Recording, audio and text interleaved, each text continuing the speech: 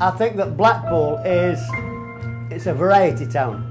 The, there's always a buzz, there's always an excitement, and that's provided by the fact that you don't always know what you're going to get in Blackpool. You don't always know whether they're going to really. Sometimes you will have to work really hard to get the laughs. They just like the entertainment. I don't think they like anything smart. I don't think anything clever. They just want basically just entertaining. And That's Blackpool. Blackpool is really the greatest show town in the world. Blackpool, that's what it is. Blackpool is the heart of show business.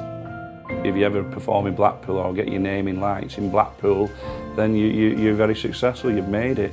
Las Vegas of the North.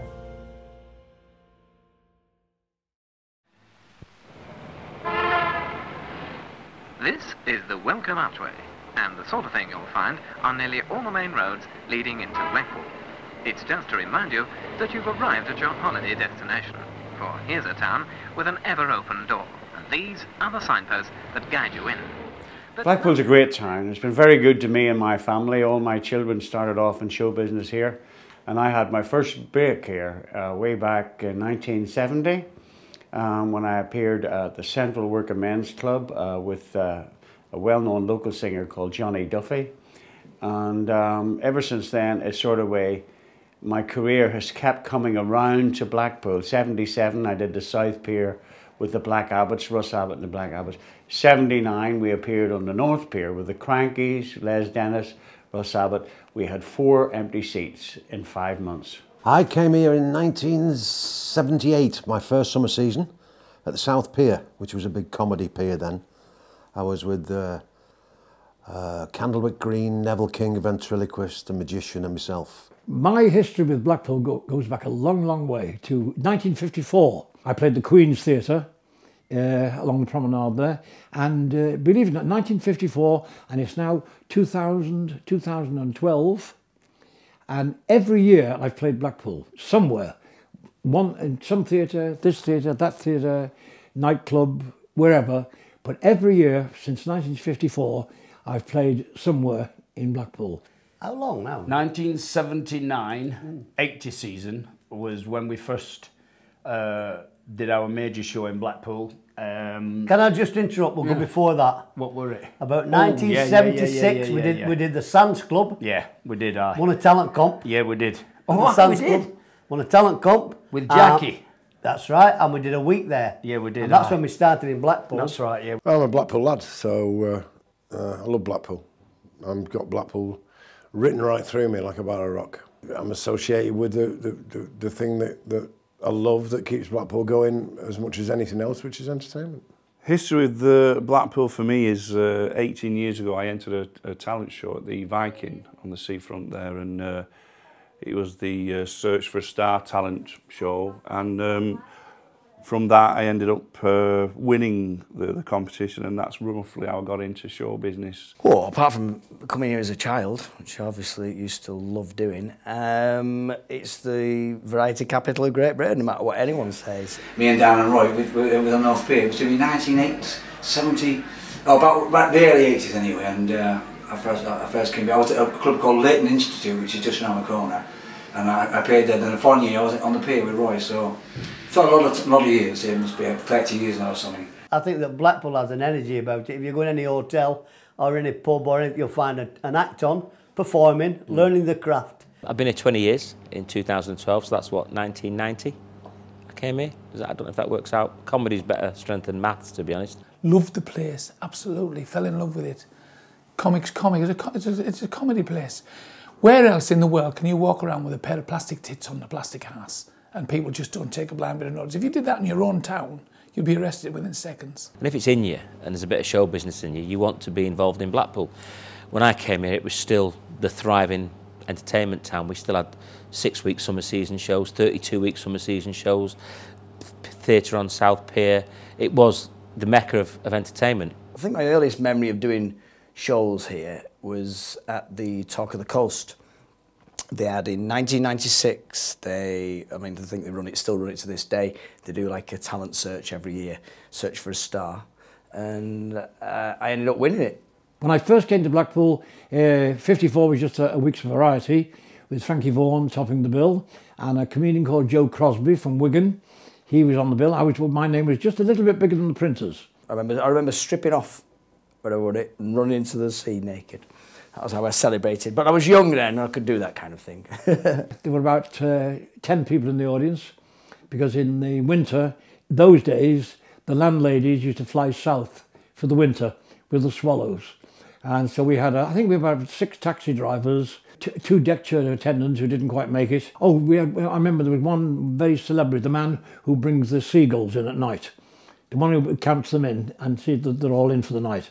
So there were about uh, 11 people in, yeah, most nights. And then, of course, like Tommy said, went on to the North Pier. North Pier, to the Opera House, to the Grand. Yeah. And we've been doing those three things for the past sort of, well, 50 years we've been in the business now. So, you know, we've been doing them on and off through them years. I just need to interrupt again. I'm not the original Bobby. No. Uh, Tommy's had a few Bobbies. Yeah, I have. He's the Uh, fifth one, actually. I'm the fifth Bobby. Yeah. I've only been with him two years. I'm That's only right. 34. He's only, yeah. Just don't want to put that point. I want to put Across. that point right. in the Grand Theatre. I have to say, if I ever have a favourite venue in Blackpool, I have to s- I say at the Grand just because I'm oh, I'm so attached to the place, having done so many pantomimes. I must. I was trying to work out how many shows I must have done in here. It must be going towards a thousand shows that I've done in this theatre now. Which and when you see the names who've performed here before, as you walk around the building, all those posters, there's one there, you know, some of the names on these posters are, are just fantastic. But then you go back through history and you've got the likes of, you know, Stan Laurel and people like that all performing in this theatre and the thought that they've walked up the same steps and walked onto the same stage as I have, it's, it's great. So the town's been very, very good to me.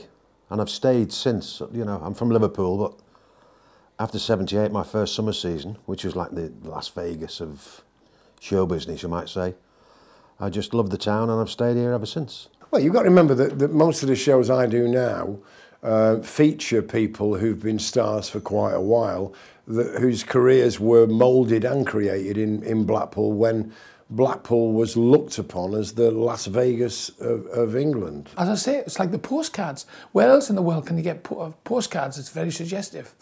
Oh, look at the tits on that. You know, you don't get you don't get that anywhere else. It's here, Blackpool. It's it's it's a massive fun house. But for comedians like me, when I arrive, I have to start looking at things and saying, "Hang on a minute, the Golden Mile, seven mile long. Who measured that?" And if you didn't do a Blackpool summer season, you, you, you, you weren't credible. So, I mean, even the stars of today, uh, if you look at Mick Miller and Joe Longthorne and Joe Pasquale and Bradley Walsh, Bobby Davro, they were all support acts to Morecambe and Wise, Cannon and Ball in Blackpool. And it was, it's always been a stepping stone on, on the way up the ladder to the heights and glory of television. Summer season at the Central Pier with um, ooh, a big variety bill. And we ran right through, right from, from Whitsun, Whitsuntide, right through to the autumn, right through to November. Twice nightly, three times on a Thursday, I think. Three times, I think it was Thursday, I think Wednesday or Thursday. I did a few summer seasons. Did a summer season at the Tower, which was brilliant. In fact, that summer season, I was working at Camelot Theme Park during the day, just down the road. And then I'd travel up and do a show at the Tower and then rush over to the North Pier. And I was on at the North Pier as well with uh, Bernie Clifton doing a summer season there as well. So like doing three different summer seasons all at once. It was about that time, that would have been the 2005, something like that, 2006. That was about that time where I decided that, look, I've got to something's got to give here and I packed in at Camelot then and became full-time just doing the, the stand-up circuit. A lot of the comedians here, um, just I just find them absolutely hilarious. I, I've had quite a bad year this year, so it's been good to come to work and like get a, a good laugh and everything. Tony Joe's in the house. Uh, this is your. Oh, it's Halloween, isn't it? there you go. That's the Halloween message from the producer right there in your face. this is your 15 minute call. Our very first, if you like, our major summer season, which is 1979 780, when we came to Blackpool, we sold the place out, 1,800 seats, twice nightly, right the way through for 20 something Mm. weeks or whatever it was. And they just took to us, uh, and Cannon and Ball were born. Did you request? requests? Eh? Does he do requests? If I know it, he'll sing it. I've lived here for now for about 12 years and it's a great place, there's plenty to do in the winter and the summer and uh, it's just got a really wonderful, there's nowhere like it in the country Blackpool, there isn't there, you know, I've played summer seasons uh, like everywhere you can think of Scarborough, Bournemouth, you know, Torquay, everywhere in the country. There's nowhere like Blackpool. You know, you're talking of in, in any other seaside resort, and I've worked in some. Their season ran from March to 1st of September when the kids go back because Blackpool had the illuminations. It would give you an extra 12 week season. So any acts that were wanting to work all year, it was easier to come and get a long summer season in Blackpool than to do 10 weeks summer season in Bournemouth or, or Rhyl or somewhere like that, and then have to go out and do other work. Blackpool was a, a guaranteed work for 36 weeks, which is why people came back. But it's a bit like it's a stigma now, and it, it, it's the thing about Blackpool is it's it'll never go away. It's like the London Palladium. When I first started in the business and I had ambition, um, everybody wants to do the London Palladium, but the London Palladium didn't mean a thing if you didn't do a summer season in Blackpool. Blackpool summer season was giant uh, because, first of all, it's 16 weeks long, and up until about 10 years ago, um, it was six nights a week. I mean, Cannonball filled the Opera House, 3,000 seats, twice nightly, six nights a week for 18 weeks. I mean, that's 42,000 people a week to see one show. Not much room for building sandcastles here. Believe it or not, this is the beach, the central beach in the height of the season. But if there's not enough room on the beach, try one of the three piers. North, Central or South, they all provide a round of entertainment and pleasure. Coupled with the unique experience one usually finds on a luxury liner. In the early days, what it used to be with Blackpool, it used to be Bolton two weeks holiday, Bury two weeks holiday, Blackburn, Oldham two weeks holiday, Blackburn two weeks holiday, and that's how it used to work. So you had solid northern audiences, and so consequently you had that audience that was they come for two weeks and they let their hair down. Well, a Blackpool audience is, is, is very show orientated. They come to Blackpool uh, on their holidays. They come for noted for fresh air and fun, where Mr. and Mrs. Ramsbottom came here with Albert, their son. But they come to Blackpool for a holiday, but they also come to see the shows. Uh, and so they're very show-minded, the people who come to Blackpool. They actually like, they love variety shows. People from all walks of life come to Blackpool, um, you know, and, and, and all parts of the country. And it's just like a gathering point for uh, people who want a good time to the number one resort for entertainment and leisure. I mean, when we started, you see, you started in a pub, in a working men's club, Aye. from a working men's club into a nightclub, Yeah. from a nightclub into theatre, and then if you were lucky, into TV. And that's how that's that was your apprenticeship. See- that doesn't exist now. You see, I don't remember all them days. No, because he's my fifth Bobby. Because I'm the fifth Bobby, you see. But my other four Bobbies do. Don't worry about I that. came right from the labour exchange right into this. Mm. It was fantastic. Thrown him right in the deep end. He's done all right. He's done all right. Rock on, Tommy. See? You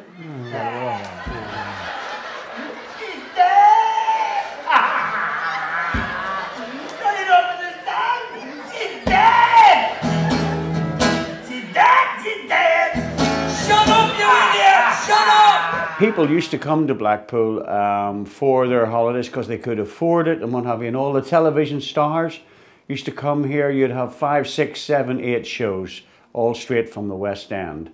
That doesn't happen now, but still people come. Uh, they like Blackpool. They like the uh, the lights, especially the lights, especially the illuminations. Uh, they don't come for the weather.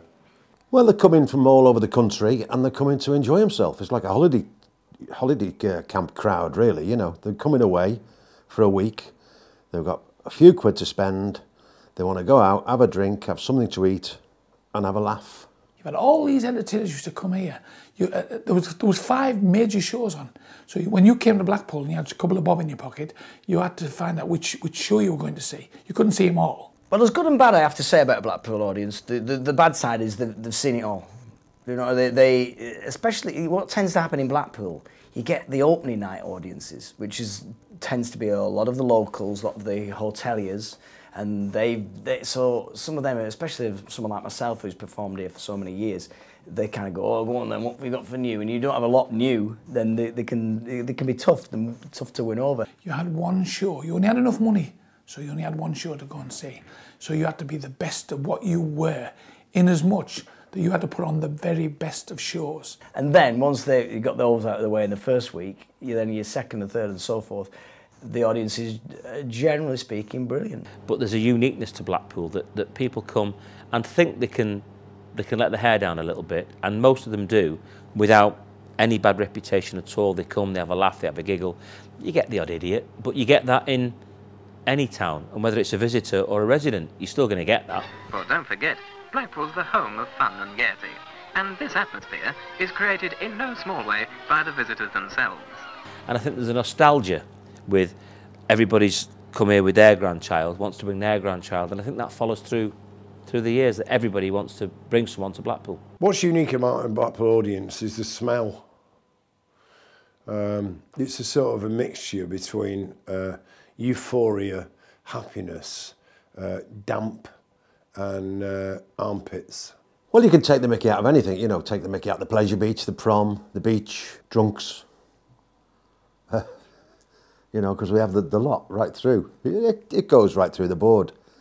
You know, the wife, the wife, the, the mother-in-law, whatever. It used to be the mother-in-law, not so much now. When you go back over the years and comedians were cracking jokes about uh, seaside landladies, for instance, you know, or if they were cracking jokes about uh, the beach or the tide, you know, people say, no, you come in the summer, brilliant, don't come in the winter unless you bring a pickaxe. I think they, they come here expecting to, to get a laugh and to be entertained.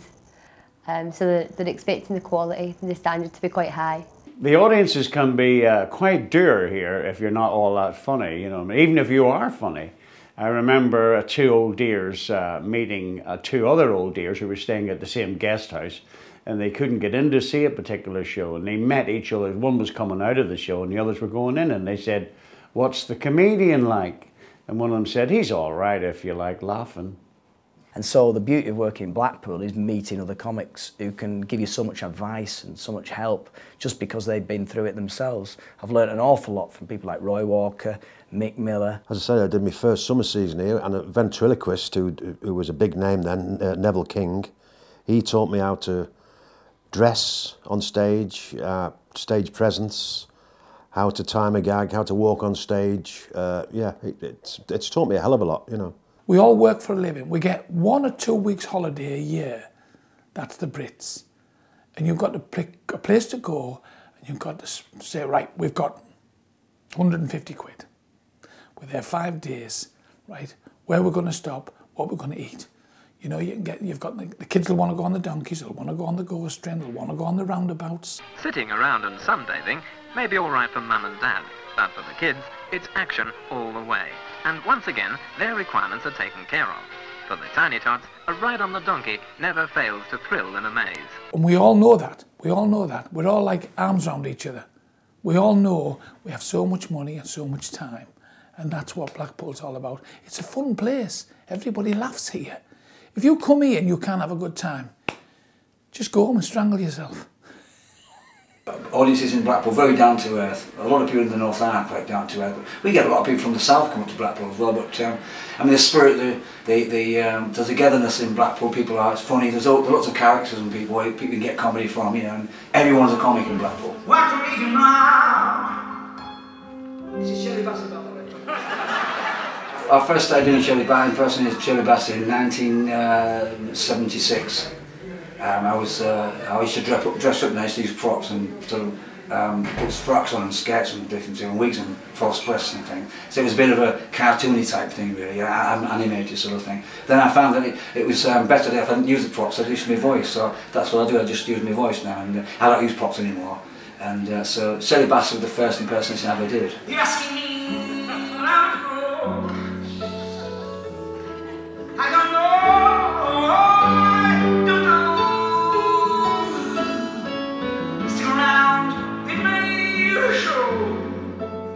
For me, the main the main interaction for me is is seeing something in the audience that I know everyone else is thinking, but hasn't got the nerve to say it, and I'll say it.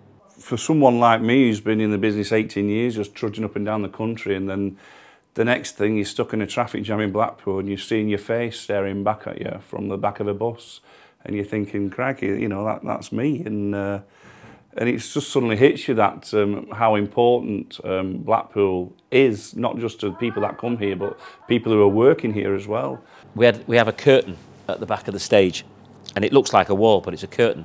And we had a woman a couple of weeks ago who thought it would be fun to run on stage while I was working, do a handstand on the wall, which wasn't a wall, it was a curtain, which you can't script that, you can't write it, you can't put that in any, no one will ever do it again, but it was just funny. I knew what was happening before I could stop her. She'd gone like that, and then like that. The big crowds aren't here anymore for the theatres. I mean, when I first started, it was twice nightly. You'd, you'd do 6.10 and 8.45, and they'd both be full.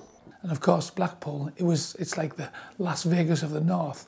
Unfortunately, it has deteriorated a little bit over the last few years, and that's because they've had no money.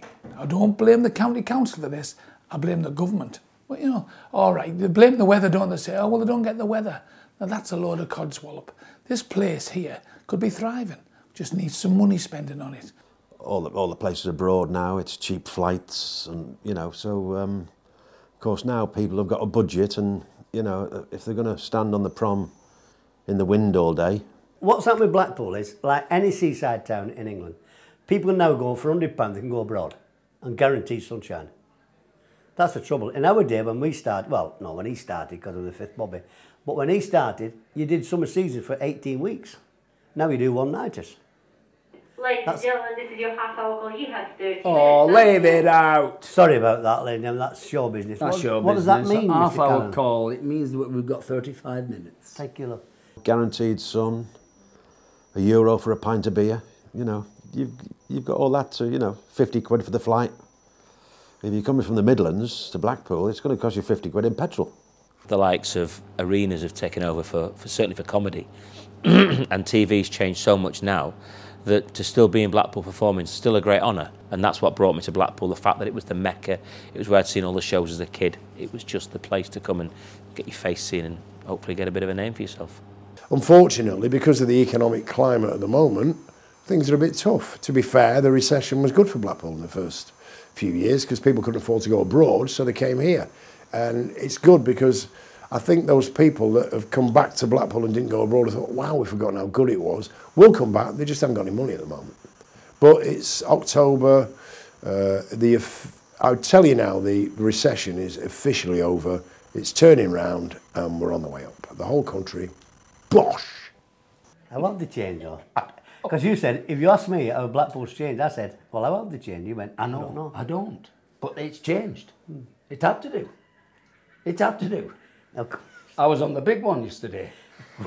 really? She were- So you she met the wife She then? were very Anyway, good. so- She were very good. When I was first starting out at that Blackpool talent show, um, I didn't really have enough money to get home from the from the show, and in them days it was first and second got through to the next round, and in the heat heat number one, uh, I come second, so roughly I got twenty quid. And that was my fuel to get back home, really. I was with petrol money home. One of my best pieces of improvisation was I got this little lad up on stage and I said to him, I said, what are you getting for Christmas? Do you know what you're going to get yet? And he went, yeah, I'm going to get a remote controlled submarine. I said, remote controlled submarine? I said, remote controlled submarine? And I thought he was making it up. I ignored him at the time. And then I started thinking about it. I looked on the internet and found out you can actually buy them, remote control submarines. When I found that out, I couldn't help thinking about that poor kid stood on some pond outside Blackpool on Boxing Day just going, And his dad going mad. I told you not to press dive, Billy. All the other boat, boat owner clubs, model boat club, going, What have you got there, then? It's a submarine. Where is it? It's there somewhere. Great memories. Unfo- Unfortunately, um, uh, this gentleman died last week, uh, Johnny Gallimore, who was one of the Landau drivers. And my first summer season, I was on South Pier and he was sat outside one windswept, raining night, and I'm walking off. And he said, Is there any in, Mick? I said, There's about 400 in.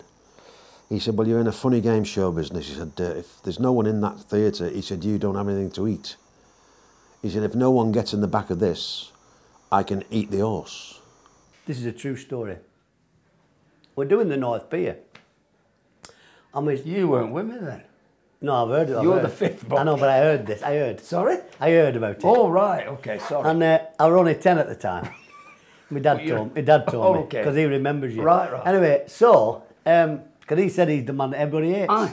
Okay. Can I got you, yeah. Anyway, Right. it's very difficult to do this interview when I'm looking at a post that says the amorous prawn. It's very difficult for me. Anyway, It's the whip wimble. so um, how can the prawn be amorous? Hello there.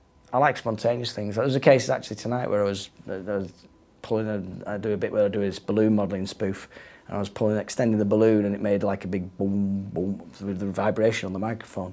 So I did a quick um, name that tune with the audience, which was good fun because it boom, boom, and it was Jaws was the answer because when you get it going faster, boom, boom, boom, boom, boom, boom, boom, boom, boom, boom, boom. What we're doing is we're doing the North Pier, and uh, we use a kerfuffle at the back. Oh, what's that is? So we finished the show, and the usherettes come round and said, "There's a guy been laughing that much. We've had to take him to hospital. He's had a heart attack, and he's died because he was laughing that much." And that's true, isn't it, Tom? a week later, we get a letter. The woman says, I came to see show, my husband died, and thank you very much because he died very happy. And that's very true. Am I right? Stop it. Yeah. That's true. Yeah, you're right. In the old days of show business, uh, all the, the artists and dancers and all the cast of all the shows were invited to the Sandhills in the middle of the summer season in August uh, because Tommy Steele, who was one of the biggest stars on the planet at the time, challenged Leonard Rossiter of Rising Damp fame, who was working here at the Grand Theatre in a play, to a duel. And at midnight, uh, 500 people, dancers, cast, and all that went down. There was a big barbecue, a bonfire, and uh, they pulled out the swords and they had the, the fencing stuff on because they were both experts. And they actually had a, a fencing duel at midnight on the Sandhills. I mean, unbelievable. because it's just it's just old school and Blackpool's got this like especially of um, their time. Like I think in the, the mid 60s and 70s Blackpool was a place to be. Like instead of like the X Factor or Britain's Got Talent people would get spotted on the piers or in theatres like this. Well, it certainly helped me being living here in Blackpool and my kids. Uh, it's uh, it's a great town for entertainment, and uh, it's been very very good to me. It was something that Blackpool, I don't know, it's hard to explain what Blackpool did for us. what? What? I don't remember them days because I'm the he's the- fifth he's Bobby. the fifth Bobby. I'm quite new, really. You see, so he remembers all I do. this. I, I have to do. I'm the, do you realise I'm the only I'm the only person in show business who's been hated for 50 years? And they don't like him. They don't Nobody like likes him. Nobody likes me. I don't. Remember it? The audiences, the, the crew that you work with in the theatre, the people in general have been absolutely fantastic. And I think that speaks a lot for Blackpool itself. It does bring people together and that people have a common interest in whether seeing a show or going on the rides or whatever. They're all there for the same reason. That's the attraction. It's everything, isn't it? I've been everywhere. I've been doing this job 44 years. You know, and Blackpool's my... I came here 24 years ago for a bottle of milk. I've been here ever since. It took to me. Somebody seen me and said, oh, I like what he's saying, you know. He's pulling no punches. He's down to earth. He's gritty. He's basic. And I like that. Blackpool was very important to me because, as I said, people come from all over, all, all over the world, but mostly all over, from all over the United Kingdom, all over Britain. People come from England, Ireland, Scotland, Wales, everywhere from different towns.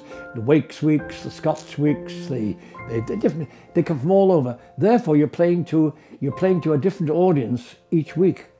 Each week is a different audience entirely, and they come from different parts of the country. So when you go back to playing, when I first played the House of Terror, Glasgow Empire, I was I was I was as scared as anybody else would be, but they'd already seen me in Blackpool, so I was I was I was assured of a good welcome in Glasgow, and this goes for everywhere else. Goes from London, uh, from the south of England, wherever you play somewhere in Britain, they've all been to Blackpool.